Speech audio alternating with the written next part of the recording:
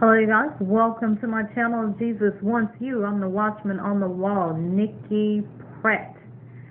Um, this message I'm about to bring is very strong, very strong, strong, strong, and um, I'm talking so strong that it would have you repenting, and you haven't even done anything. Type strong. Um, whew, I was I was repenting. Like, Lord, if I fall under any of this, I'm telling you, y'all, it's time to get some fear of the Lord if you don't have any. Before I go any further, let's um I'm gonna go ahead and pray. Bow your heads, please. Father, in Jesus' name, Lord God, we thank you, Lord, for this opportunity, Lord God, for us to be able to hear, Lord God, the message today. Lord God, we just ask, Lord God, that the people under the sound of my voice would not just only hear, but be doers, Lord God, of this word. Let them be convinced to conviction. Father, we bind every spirit of oppression, depression. We bind in the name of Jesus all mind control, mind controlling spirits. Father, in Jesus' name, Lord God, we pray that their hearts will be open and ready to receive. Lord God, quick to repent in Jesus' name. Hallelujah. Lord, we thank you. Amen. Short prayer. Okay, here goes. My eyes are on oppressive and unjust leaders. This message, the title today says, Woe to Oppressive Leaders. My eyes are on oppressive and unjust leaders. Do you think ye shall get away? You profane my name and say, God said. You steal from a people. Will I steal? No, you steal. Will I not visit you for this? If you can, turn with me quickly to Micah chapter 2. I'm going in the Amplified Version because I want to make sure people hear this and understand it. Verses 1 through 5.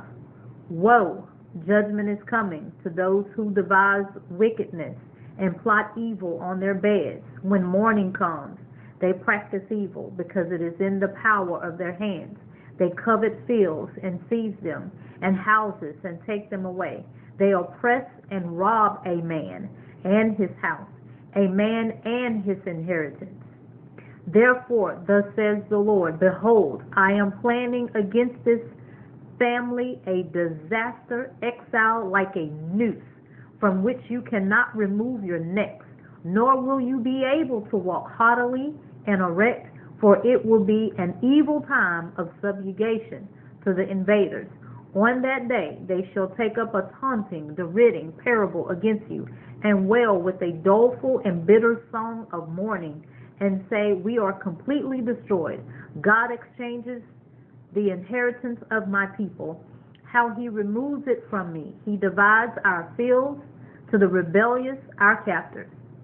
Therefore, you will have no one stretching a measuring line dividing the common land, for you by lot in assembly of the Lord. All right, Micah chapter 3, same chapter, um, verse 11. I'm going to read that in the King James Version. Micah chapter 3, verse 11. The heads thereof judge for reward, and the priests thereof teach for hire, and the prophets thereof divine for money. Yet they will lean upon the Lord and say, Is not the Lord among us? None evil can come upon us. Repent now, change, and turn from your waywardness. Judgment has already started at the house of God. I see the oppression in the flock. Hold on just a second, you guys. Okay, you guys, sorry about that. All right, I'm going to stop where I left off. I see the oppression in the flock. How can this be? I come to bring liberty and set free, yet there are people in bondage, being oppressed by doing a work by profane leaders. I do a work in this day Men are perverting the church. Men, women, plural, contaminating the church. How can one sit under such filth, lies, and hypocrisy? You are worse than the Pharisees in those days, filling your own pockets and oppressing the poor. There is no spirit operating in most churches. You grieve the spirit. Where there is no spirit, there is no truth. When I said, even in my word, my house shall be a house of prayer. The spirit can't dwell in what you're operating in in you oppress women and men in your church by tradition saying God has not called you when I have called them. Let's turn real quickly to 1 John chapter 2 verse 26 through 29 King James Version These things have I written unto you concerning them that seduce you but the anointing which ye have received of him abideth in you and ye need not that any man teach you but as the same anointing teacheth you of all things, and is truth, and is no lie. And even as it hath taught you, ye shall abide in him.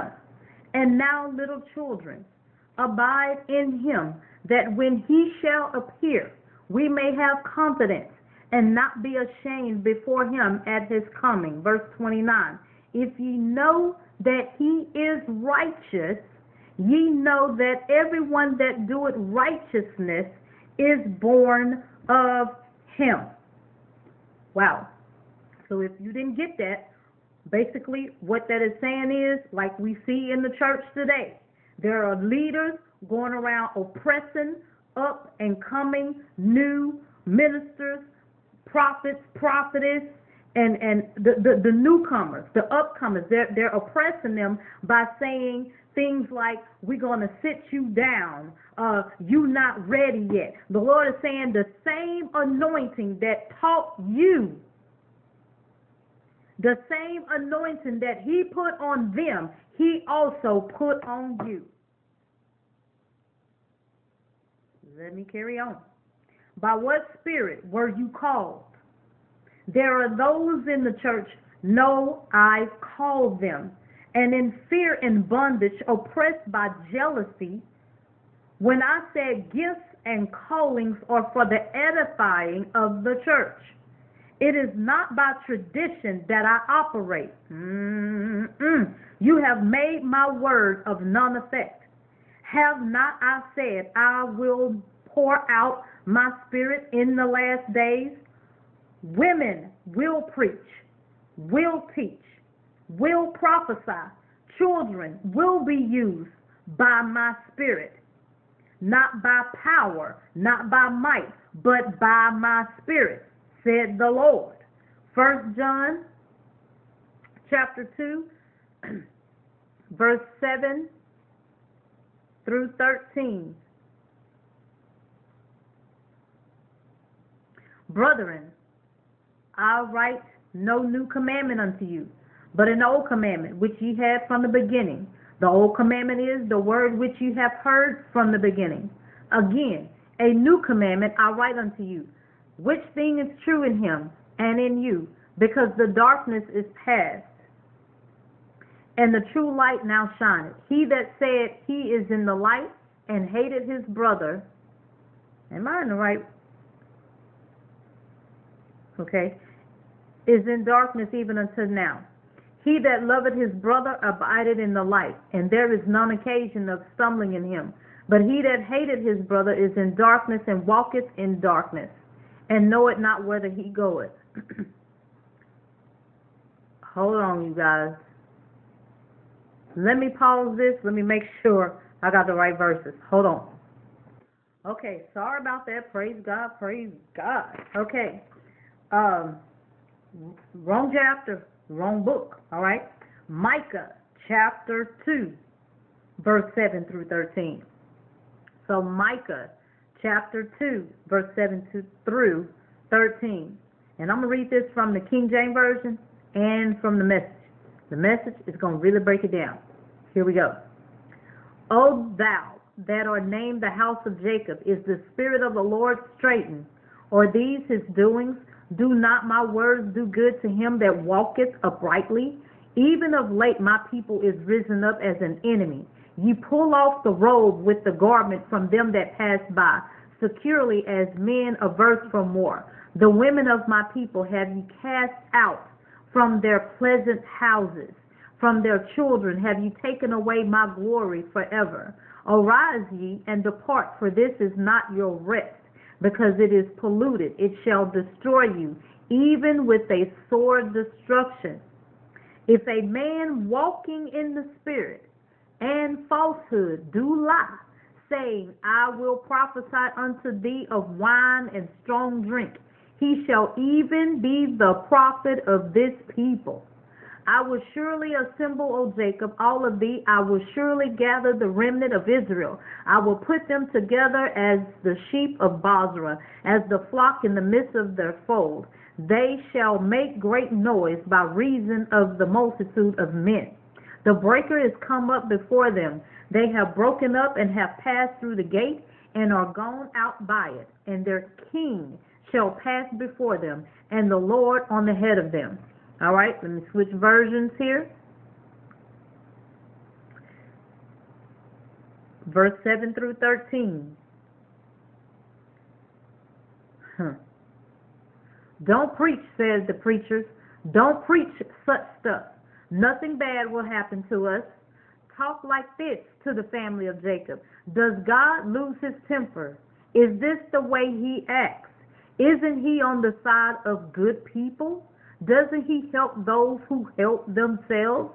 What do you mean, good people? You're the enemy of the people. You rob unsuspecting people out of an evening stroll. You take their coats off their backs like soldiers who plunder the defenseless.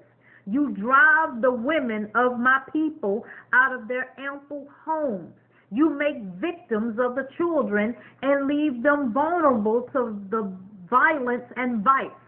Get out of here, the lot of you. You can't take it easy here. You've polluted this place, and now you polluted. Now and now you're polluted, ruined. If someone showed up with a good smile and a glib tongue and told lies from morning to night, I'll preach sermons that will tell you how you can get anything you want from God.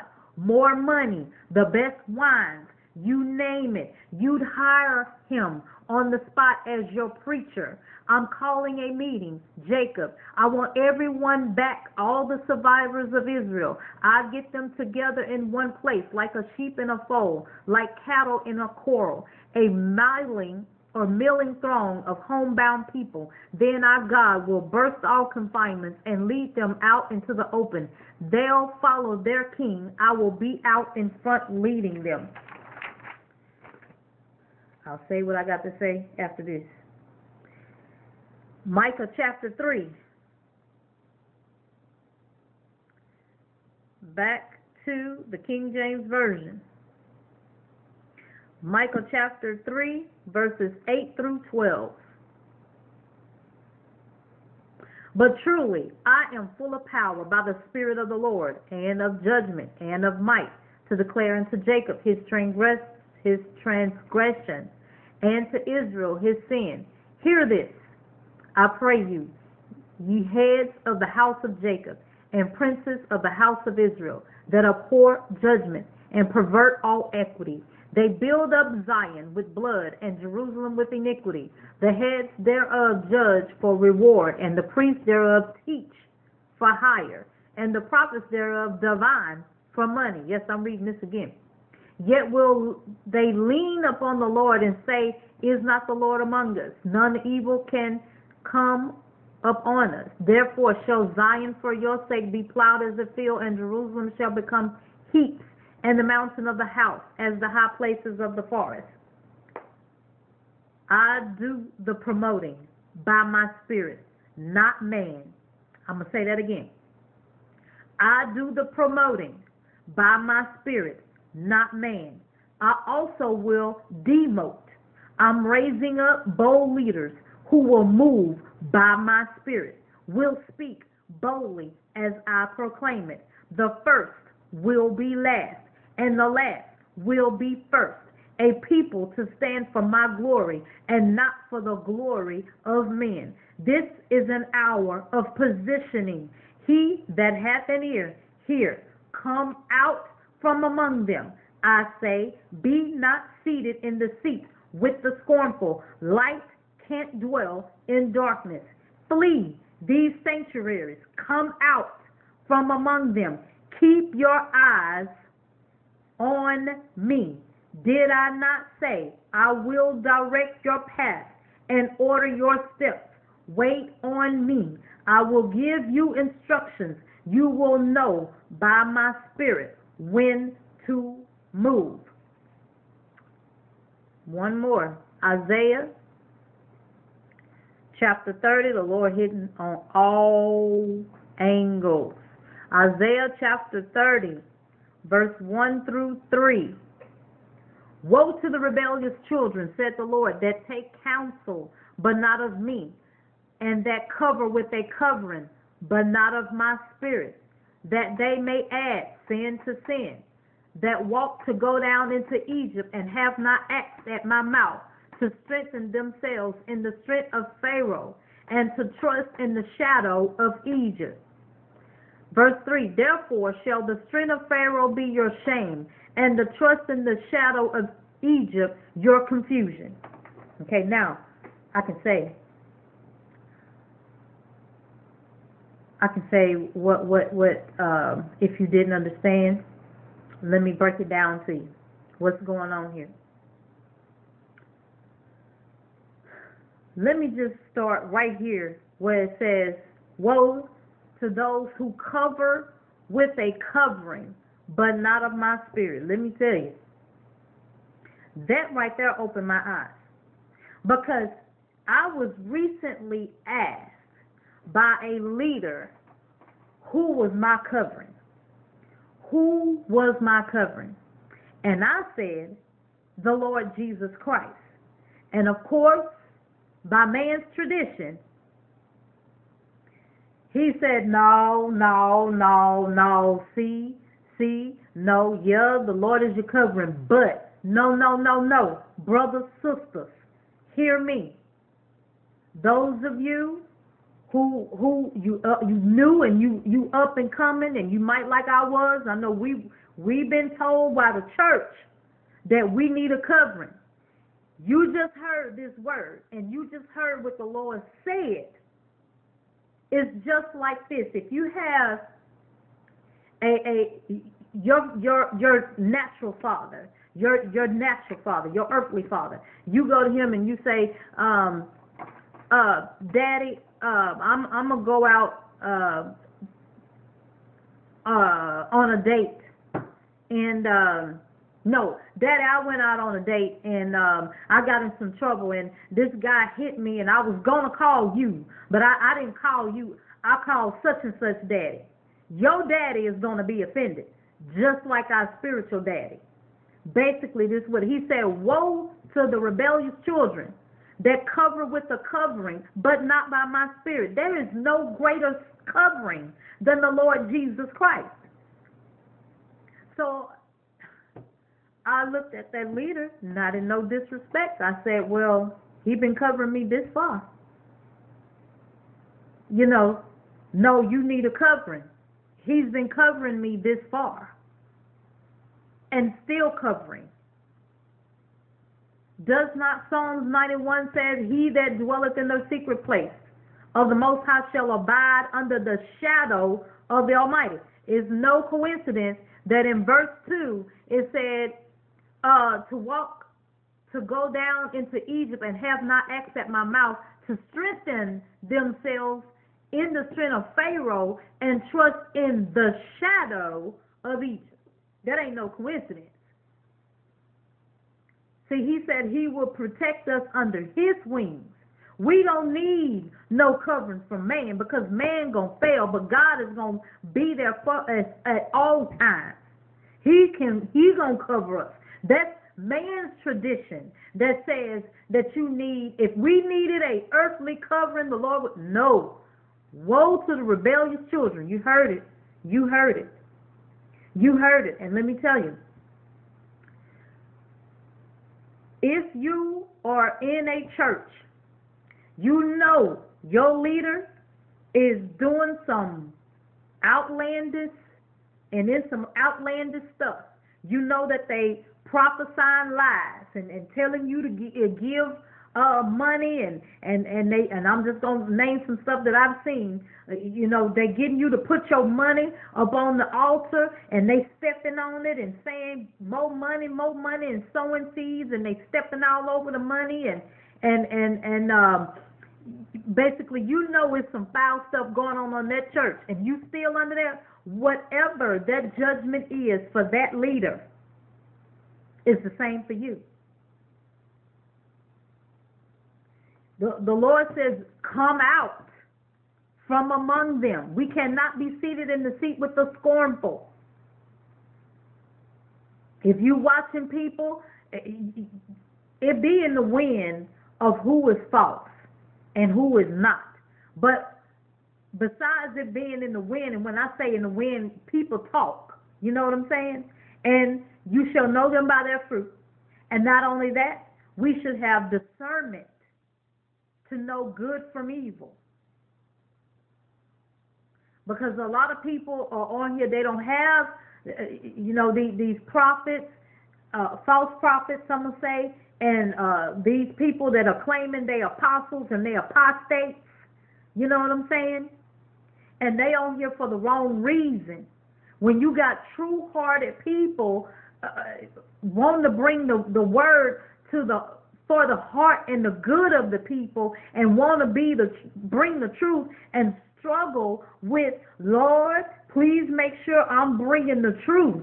You know what I'm saying? Versus somebody getting up here bringing forth lies for the production of their pockets and not for the help or the good of the people. Basically, you will come under the same judgment. If you're sitting in this church knowing this got you going on this is going on. Woe to the oppressive leaders. You you you oppressing people and telling them that they can't preach. You not ready yet. Uh, i i hear this. I haven't released you yet. Excuse me. Did you not hear this message?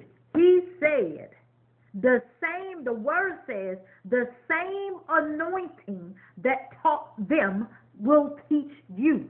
You need not any man teach you. That's what the scripture says. You need not any man teach you. Let me go back there.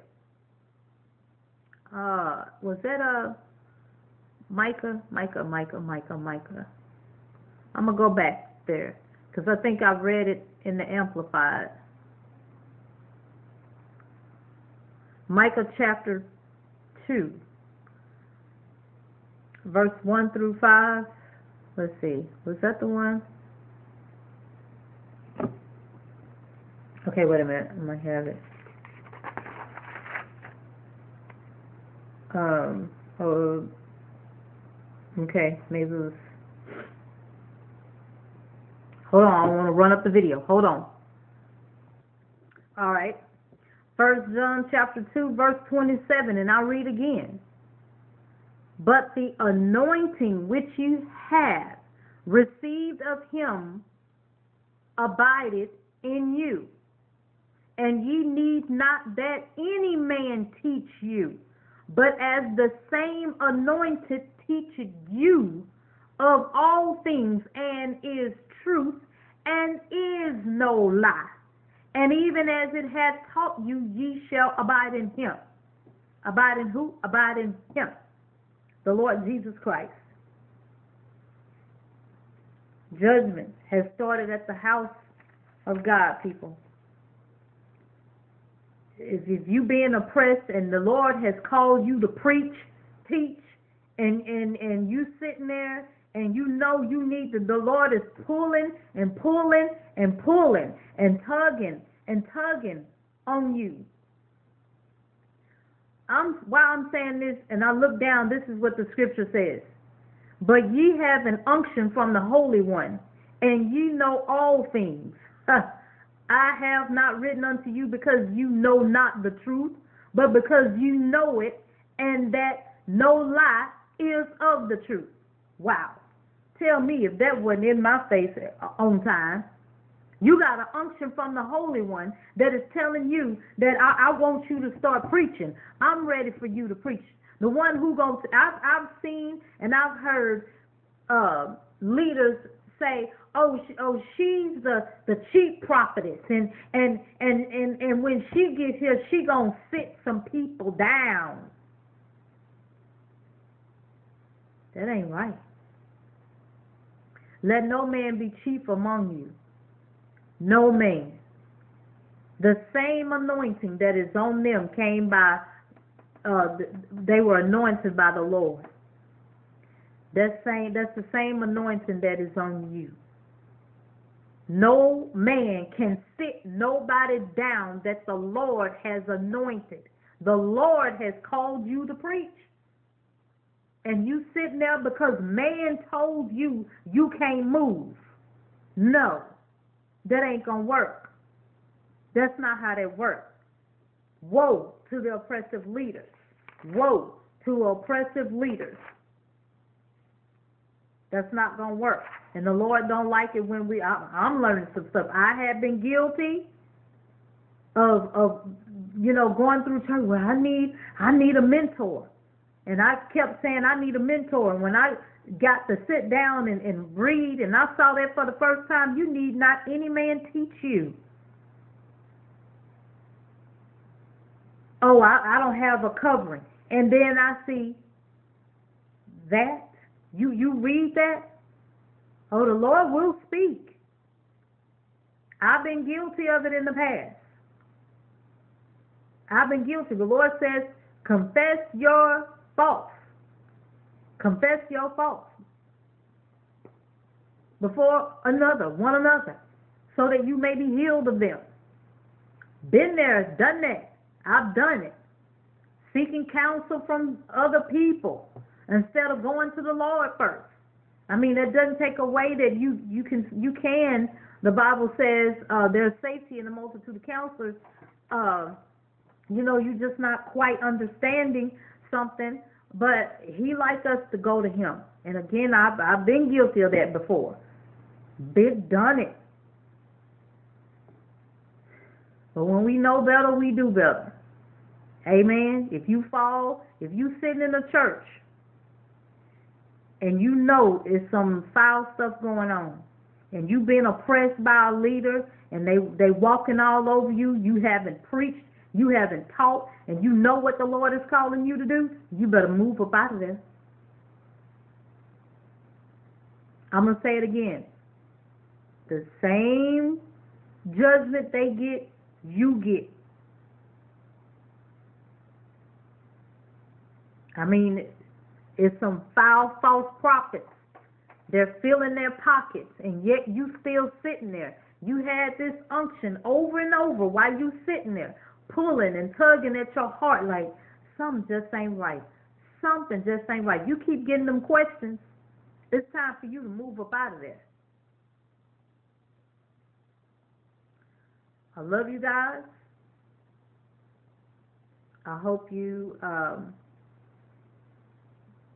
you know, um, pray about this. If you need any, if you have any repentance to do, I done told you I done already repented, and and I, whether I was wrong or right, I'm I'm I'm repenting just in case. Some serious fear of the Lord. A lot of us need some fear of the Lord. I love you guys. See you next video. Thanks.